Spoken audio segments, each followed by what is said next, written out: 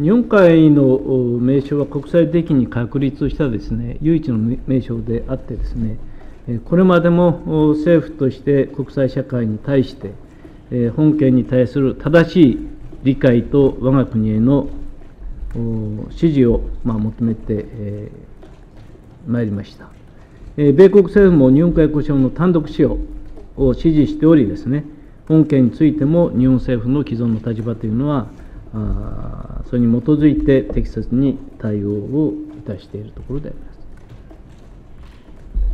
アメリカにおいてですね、そのまあ、韓国人コミュニティといいますかですね、その韓国サイドこのグレンデール市のあの慰安婦像設置もそうなんですけれども、やっぱりその韓国の主張が、えーと、ロビー活動によって通るケースが非常に目立っていると思うんですが、日本政府として今後どういうふうにこれを対抗してくるんでしょう